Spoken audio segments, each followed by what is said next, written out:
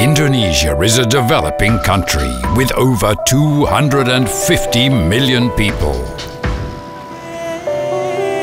Within the population, 86% are Muslims. This is a country with the largest Muslim community. The month of Ramadan is the most anticipated moment of the year. This is the time when one's perseverance is tested. Time of patience to cleanse the soul. Focus the attention to God.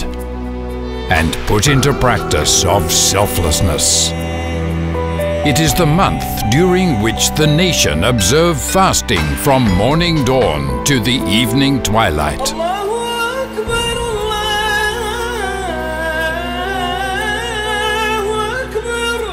When the sun sets and Adzan Maghrib is called out, it is customary for Muslims to break fasting together.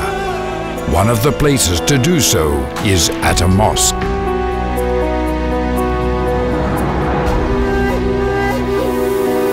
Istiqlal Mosque, one of the largest mosques in the world, facilitates more than 3,000 people to break their fast every day.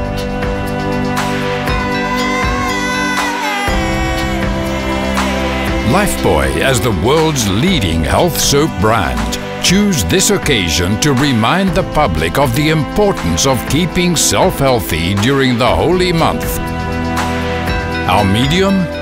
Takjil, or dishes to break the fast.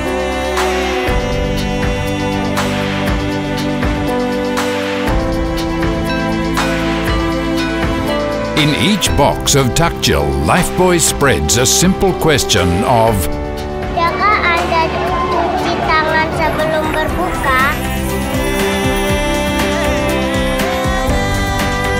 The purpose is to remind people on the importance of hand washing before the most important meal of the day during Ramadan.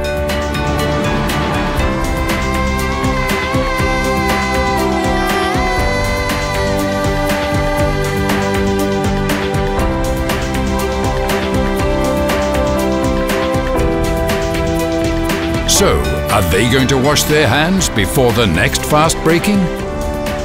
In the spirit of celebrating the victory on Eid al Fitri with a healthy body, we sure hope so.